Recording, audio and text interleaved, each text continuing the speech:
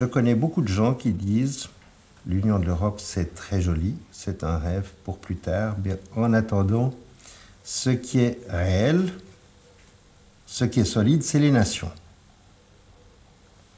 Je n'ai pas besoin de vous citer le nombre de gens fort connus qui sont au pouvoir ou qui n'y sont pas, ou qui sont proches du pouvoir, et qui nous répètent depuis 20 ou 30 ans, la seule réalité de l'époque, c'est la nation.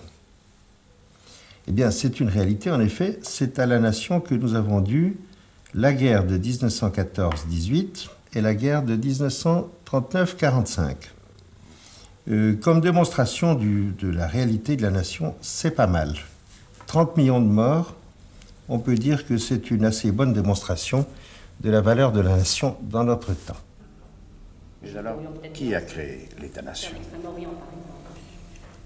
Eh bien, c'est un grand chef-d'œuvre qui a été fait par la collaboration des Jacobins français, aussi un peu des Girondins, euh, qu'on a tort de qualifier de fédéralistes, et puis de Napoléon surtout.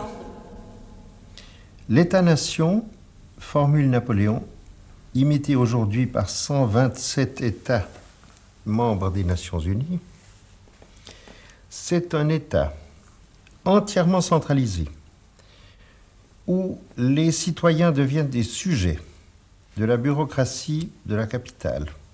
Pourquoi? Parce que de cette manière, ils sont plus rapidement mobilisables. Pour être bien mobilisés dans un temps minimum, il faut leur donner des réflexes communs. On y arrive par l'instruction publique.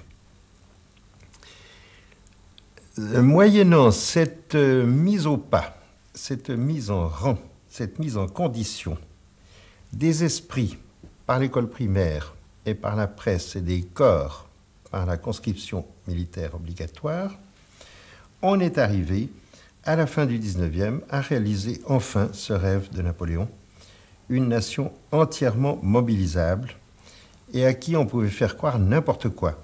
Et c'est au nom de ces idéaux que les Français sont partis en guerre en 14, la fleur au fusil, en criant euh, qu'ils allaient défendre la civilisation et qu'ils partaient pour conquérir Berlin, tandis que les Allemands partaient pour défendre la culture, euh, la fleur au fusil également, Paris.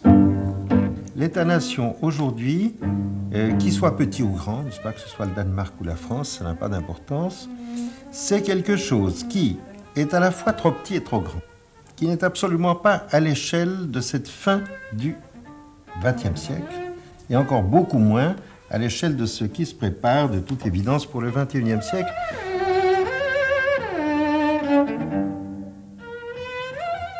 Denis de Rougemont aime à dire il faut transformer les frontières en écumoires.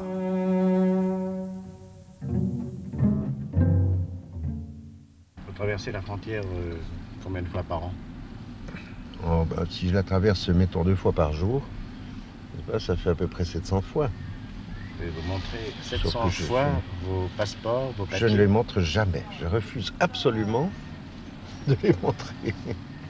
Dans mes rapports avec les percepteurs, avec euh, les douaniers, avec les gendarmes, avec les officiers d'état civil, euh, je leur explique toujours que moi je ne suis pas leur sujet et qu'ils ne sont pas mes supérieurs, que je ne leur dois rien, que c'est eux qui doivent au souverain et à cette partie du souverain que je suis en tant que citoyen, qui doivent leur service. N'est-ce pas? Je suis un citoyen, je ne suis pas un sujet. Je commence toujours par leur dire ça. Je dois dire que la plupart du temps, ils finissent par me donner raison, et puis on finit par en rire ensemble.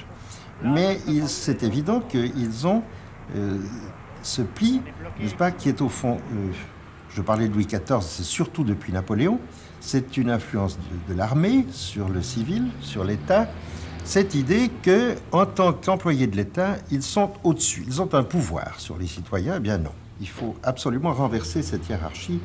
Je crois qu'il y va de l'avenir même du civisme dans nos différents pays.